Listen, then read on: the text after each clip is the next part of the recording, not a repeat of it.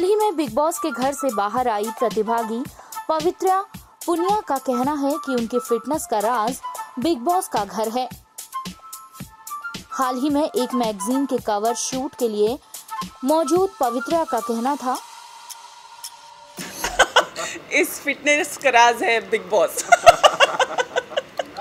No thank you so much क्या मतलब ऐसा क्या खास हुआ वहाँ की? इतने इतने you know seriously on a very you know positive note और on a very serious note you look so fit या सी व्हाट हैपेंस इज़ कि बिग बॉस में जब हम सब कंटेस्टेंट्स होते हैं ना तो there is a limited amount of food that you consume there and as सबको पता ही है सब लोग बिग बॉस देखते हैं कि वहाँ पे लग्जरी आइटम्स जैसे कॉफ़ी घी ब्रेड्स जैम ये सब कुछ अर्न करना पड़ता है फ्री में नहीं मिलता। है तो मैं वो अर्न कर नहीं पाई कि मैं कैलरीज थोड़ी सी और टेक ओवर कर सकूँ so I was just having normal food right like chapatis, and small small portion of uh, uh, sabzi and all. So yeah, I'm fit. Thanks to Big Boss. इस magazine में पवित्रा का bridal look नज़र आएगा इसके बाद जब हाल ही में big boss के घर पर हुई अर्शी और विकास के बीच के विवाद के बारे में पवित्रा से बात की गई तो उनका कहना था।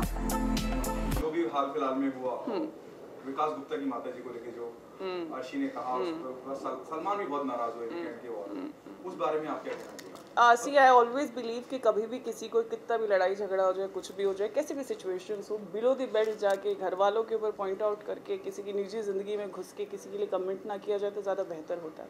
और मैं ऐसी ही इंसान हूँ कि अगर मेरे ऊपर भी कोई कमेंट करे तो मैं कभी भी उस चीज़ का पलट के जवाब नहीं देती, क्योंकि निजी ज़िंदगी में कभी भी घुसना ठीक नहीं होता, उनकी पर्सनल लाइफ है। तो जो भी डील करना है सोशली करें, या फिर काम से रिलेटेड करें, जो भी करना है, वो जो चीज़ विकास के साथ हुई, जो अर्शी ने की, वो बहुत गलत थी। कभी भी घर वालों को उस चीज़ में ना लेके आएँ। एक चीज़ की एक हद होती है, एक मर्यादा होती है। इनफैक्ट आप गुस्सा भी करते हैं, आप क्राइम भी करें ना। अगर मैं फॉर एग्जांपल ये भी बोलूँ तो वो करने से पहले भी एक मर्यादा, एक लिमिटेशन देखी जाती है कि इसके साइड इफ़ेक्ट्स क्या हो सकते हैं, या फिर इससे लोगों के ऊपर क्या इम्पैक्ट पड़ सकता है। आप जब पब्लिक फ्रेम में रहते हैं, आप जब पब्लिक इमेज में होते हैं हम श्योर कि अर्शी के भी बहुत सारे आइडल्स होंगे